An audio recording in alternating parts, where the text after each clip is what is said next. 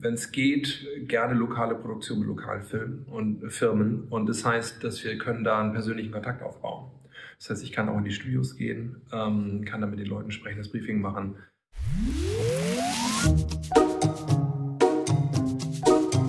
Meine Erfahrung ist, dass im Gegensatz zu den großen Produktionen, die mit viel Iteration arbeiten müssen, das kalkulieren müssen, ähm, ist es bei uns mehr streamlined. Also First Hit must fit. Also ich arbeite eigentlich schon mit Regie, Kamera, Ausstattung. Wir arbeiten mit, früh mit Reviews, manchmal roh und machen Feedback, dass wir eigentlich dann wirklich ins Ziel reinarbeiten. Das ist eine Möglichkeit, mit kleineren Budgets auch schöne Sachen zu machen.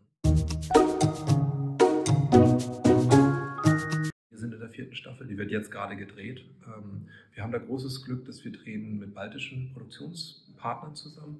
Ähm, die sind sehr gut in der Ausstattung. Also viel im Studio wird dort vor Ort gedreht. Ähm, das macht auch ein sehr hohes Produktionsvalue. Und wir haben eben inzwischen ein eingefahrenes Team an, an Post-Vendoren oder einem Vendor, der ähm, uns eben hilft, immer die VFX umzusetzen. Und da fangen wir sehr früh in den Gesprächen an. Ich kenne ähm, Regisseur auch sehr gut. Ähm, das ist eine sehr enge Zusammenarbeit. Wenn das Budget drüber geht, kriegen die frühzeitig von mir ein Signal und dann setzen wir uns zusammen und machen Entscheidungen. Und das sind meistens Entscheidungen, wo eben klar gesagt wird, also wenn wir wollen, dass das gut wird, dann verzichten wir darauf.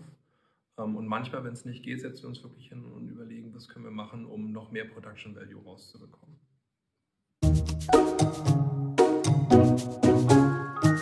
Oh, ich glaube, ich wäre der Grüne, der Adjutant von dem Kaiser, genau, der die Hand verloren hat ja, und im Hintergrund die Fäden zieht und hilft. Das ist so ein bisschen meine Rolle, würde ich fast sagen. Ich glaube, ich werde rot gerade.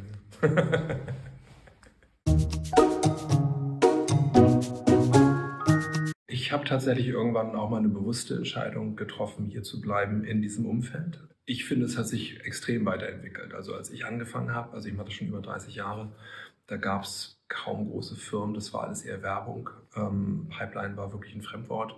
Das hat sich in den letzten Jahren alles sehr entwickelt. Also ich sehe nicht, dass wir in irgendeiner Form dahinterher stehen.